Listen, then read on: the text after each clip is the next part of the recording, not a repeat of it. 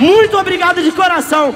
O ponto de equilíbrio espera voltar mais e mais e mais e muito mais vezes e ser muito bem recebido como foi essa noite.